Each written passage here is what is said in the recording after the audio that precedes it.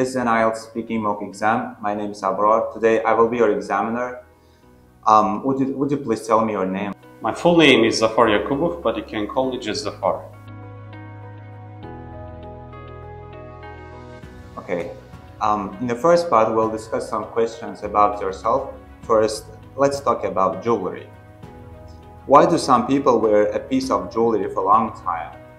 So the number one reason why people keep anything for extended periods of time is that they hold it dear to their hearts. Uh, so say a piece of jewelry reminds them of somebody they love and they would wear it every day. And apart from that, of course, they can be keen on jewelry or just find it suitable to their style. What type of jewelry do you like to buy?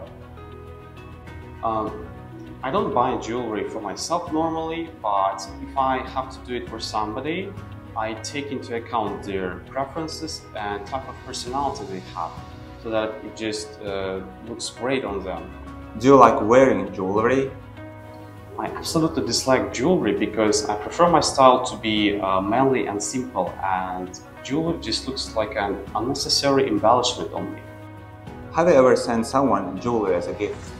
Yeah, I've had to do that a couple of times in my life, but none of those was a successful experience because I ended up buying something they had or they didn't find particularly good.